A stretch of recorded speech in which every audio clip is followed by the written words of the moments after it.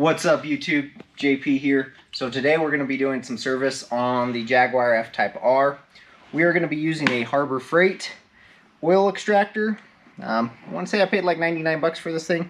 It's awesome. Um, so on the Jaguar, pretty simple process.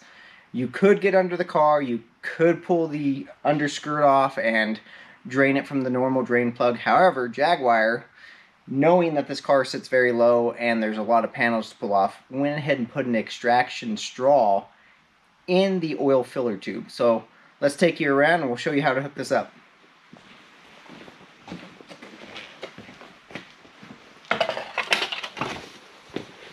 Alright, so the first thing you're going to do is you're going to take your oil cap off here. And as you can see down inside here, there's your extraction straw right there. It's just sticking right up in the middle there. So you're going to take your oil extractor. You're going to hook your hose up. Right over that straw like that. And you're just going to give yourself some good pumps till you get the oil flowing. There you go. You see the oil's going down. Then every couple, about every minute or two, come give this thing a couple extra pumps just to maintain the vacuum on it. And this is how JP gets jacked. so when it comes to parts for any European vehicle, um, I also own a Mercedes. Um, I like to use fcpeuro.com. Super fast shipping. They know what they're talking about.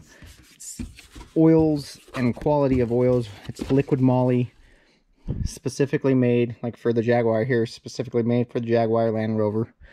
Um, the kit comes with your oil filter, comes with all the oil you need.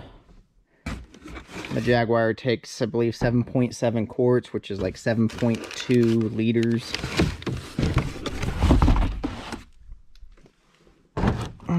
So, it even comes with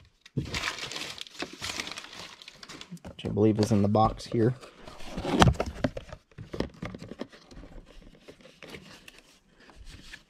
Even comes with a brand new drain plug, but on this particular one, the Jaguar, we're going to do the extraction. I usually like to change the drain plug underneath about every other oil change. So, I don't know where I set the drain plug. Oh, here it is for you. There you go. It's right on the back brand new factory Jaguar drain plug. So I think it's 170 bucks shipped from FCP Euro. I'm not affiliated with them. I am not sponsored by them. However, I'm very happy. I've been using their products on the Jaguar since I've owned it. Very happy with everything they do.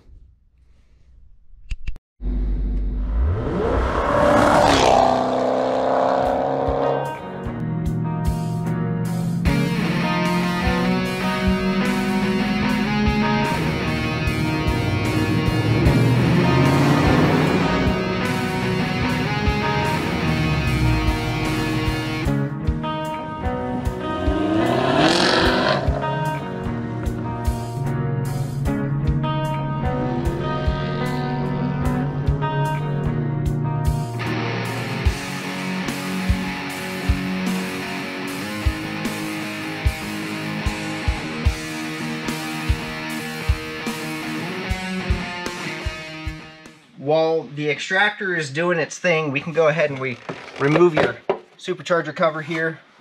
Just pull straight up. Your oil, oil filter is right here, right on top. So, real easy to get to. We're gonna go ahead and grab a tool to go ahead and get this off. As you can see, it is a Ford Motor Company because this motor is partially Ford. So I use just a regular oil filter wrench, works really well on these things. So you're gonna just go ahead and get it centered there and get your oil filter broke free until it's loose enough to do by hand.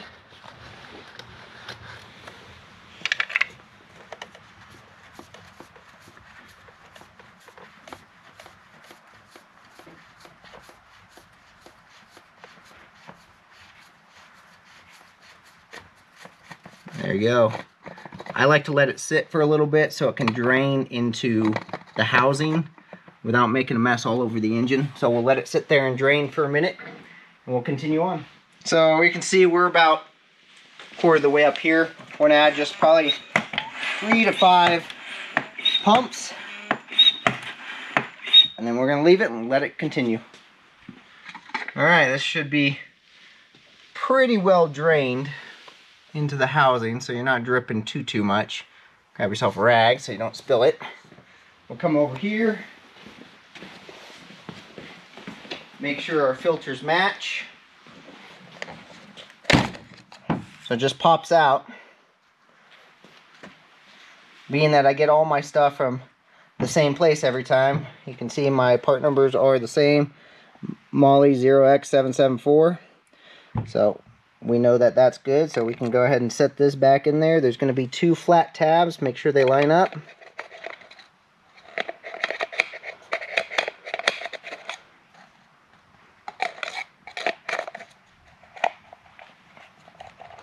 There you go. Once you get that oil filter placed in there, you want to go ahead. The new filter will come with a, a cap seal. Go ahead and get yourself a pick or a screwdriver, whatever you got. Then pull this guy off and disregard it. Have a new one here.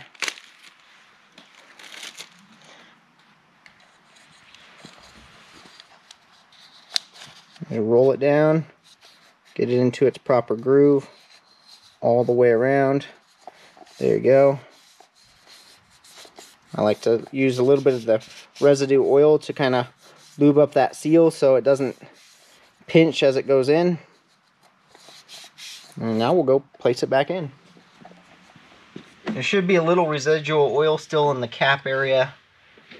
Take your finger, you can kind of lube up all your O-rings a little better. There you go. I'm going to place it down. Super simple process.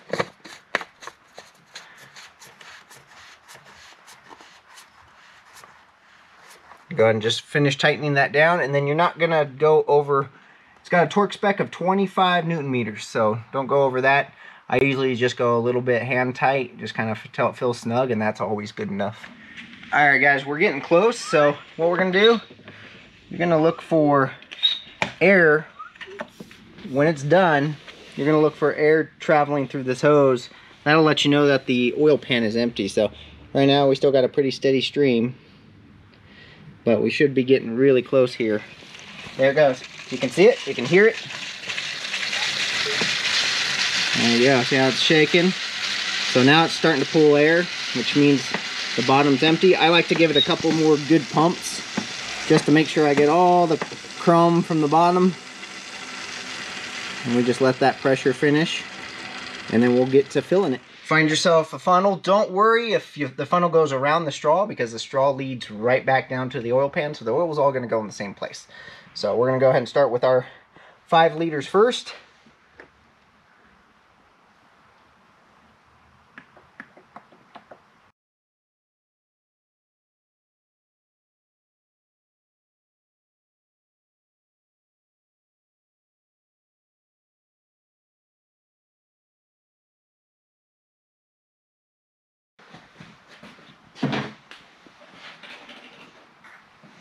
It's five liters six liters.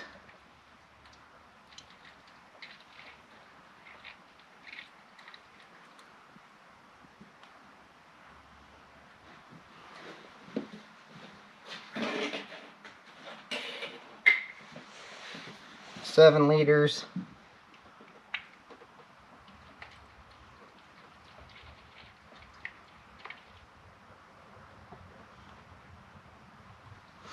All right, liter wise, it's about 7.2, 7.25. So we're gonna have, here's your liter marks here.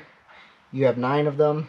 So if you figure you're gonna go with probably about two and a half roughly. Maybe down to the third one. Just take your time. One, two, I'm gonna go down a little more. Okay. So we're still a little high. One, two.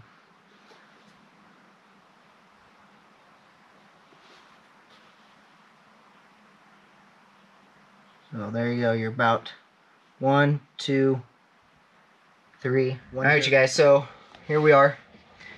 So started at nine, eight, seven, six. So there's about three.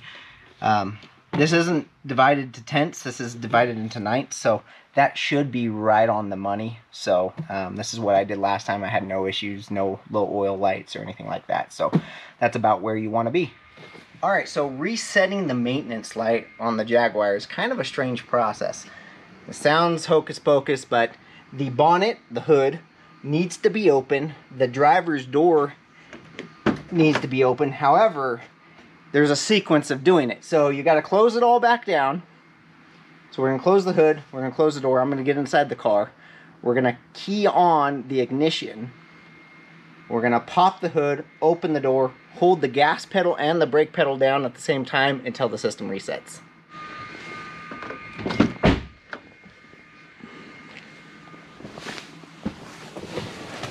Alright you guys, so car, everything's closed, no foot on the brake, no foot on the gas. You're to give, turn the ignition to all the way on. One, all your lights should be on. You're to pop your bonnet. You're to open your door and you're to hold the gas and brake pedal down until the system resets.